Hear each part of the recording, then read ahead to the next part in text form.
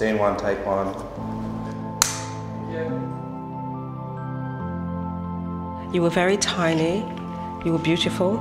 You were a beautiful baby. Cute little girl. Yes. You were such a pretty baby. You just looked like a baby, but a very, very tiny baby. Well, to be quite blunt, you were actually blue, which I knew wasn't right. So the delivering doctor then said, I think your baby has Down syndrome, and you have three options. You can institutionalise him, you can adopt him out, or you can take him home.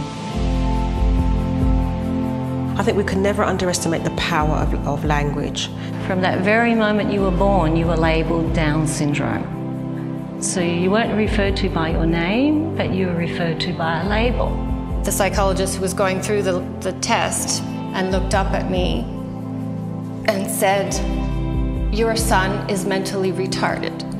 The neurologist uh, said to me, um, You may have visions of your little girl being a ballerina and dancing on the stage, um, but it's time to put all that aside because we don't know if she'll even walk.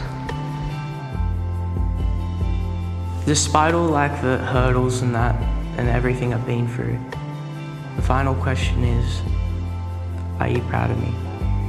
Are you proud of me? Are you proud of me? This has been the Cheers Cup. Yes, Liam, I am proud of you.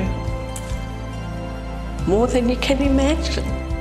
I actually don't think you'll ever know just how proud I am of you, Nathan. You've done everything you could possibly do.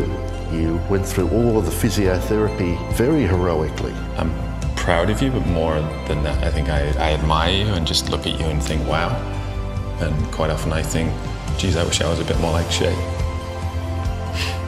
You're funny, you're cheeky.